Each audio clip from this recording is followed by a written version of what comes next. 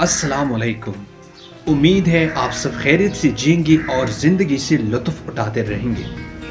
देखिए, आज की इस वीडियो में मैं आपको छह ऐसी बातें बताने वाला हूँ, जो आपको यकीनी मुतासर करेगा। हजरीन, नेपोलियन बोनापार्ट कहता है, नंबर एक, जो ये सोचकर लड़े कि मैं हार जाऊँगा तो वह ज़रूर हार जाएगा।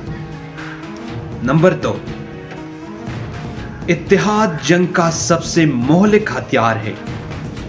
नंबर तीन, जंग जंगलियों की तिजारत है। नंबर चार, मैं जंग हार सकता हूँ, लेकिन वक्त ज़ाया नहीं कर सकता। नंबर पाँच, नामुमकिन लफ्ज़ मेरी लगत में नहीं है। और आखिरी नंबर वाला मेरा पसंदीदा है। नंबर छः तुम मुझे बेहतरीन माए दो।